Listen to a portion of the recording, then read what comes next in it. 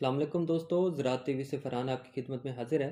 दोस्तों, अक्सर आपने धुएँ के बादल देखे होंगे, जो कि सर्दियों की आमद से पहले बहुत ज़्यादा दिक्कत फैलाते हैं। हमारे यहाँ अमूमन चावल की जो फ़सल है, उसके मुंडों को और बाकियात को आग लगा दी जाती है। तो वो क्या करते हैं, धुंधले बादल बना देते हैं, जिसे स्मोक कहा जाता है। दोस्तों, जब धुआँ, मट्टी और धुंध जो है, इसकी जो अमेजिश होगी तो वो स्मोक कहलाएगी और वो काले बादल बनेंगे।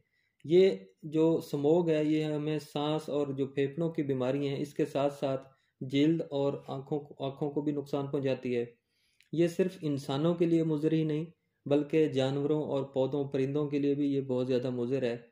और स्मोग में अक्सर आपने देखा होगा कि जो हद निगाह है, वो भी बहुत ज़्यादा कम हो जाती है, जिसकी वजह से ट्रैफ़िक के हादसा और इस तरह के मसाइल सामने आते हैं। अगर लाहौर शहर की हम बात करें तो एशिया का बदतरीन जो शहर है, वो पोल्यूशन के हवाले से या आलूदगी के हवाले से उसको मतलब समझा जाता है। और वो एक बिल्कुल गैस चैम्बर की तरह बिहेव कर रहा है, जिसमें बहुत सारी गैसेस, जहरीली गैसेस, जैसे कि आप उसको carbon monoxide nitrogen dioxide sulphur dioxide वगैरह कह सकते हैं, जो कि वहाँ पे बन रही होती हैं। और ये डायरेक्टली हमारे माहौल पर असरअंदाज होती हैं।